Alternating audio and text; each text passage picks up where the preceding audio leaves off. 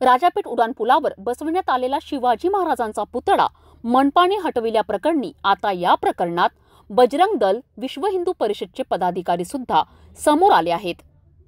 शिवाजी महाराजांचा पुतळा रात्रीच बसविणे आणि रात्रीच हटविणे यामुळे हे कृत्य निंदनीय आहे. या घटनेने असंख्य शिवप्रेमींच्या भावना दुखावल्यात आहेत.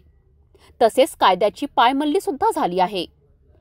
मनपाने जप्त केलेला पुतळा अतिक्रमण गोडाऊनमध्ये ठेवल्याने पुतळ्याची विटंबना होत आहे. ही परिस्थिती आटोक्यात येईपर्यंत शिवाजी महाराजांचा पुतळा आमच्या स्वाधीन करण्यात यावा. पूजा अर्चना करण्यात येईल अशा आशयाचे निवेदन बजरंग दल आणि विश्व हिंदू परिषदचे पदाधिकाऱ्यांनी जिल्हाधिकारी पवनीत कौर यांना दिले आहेत.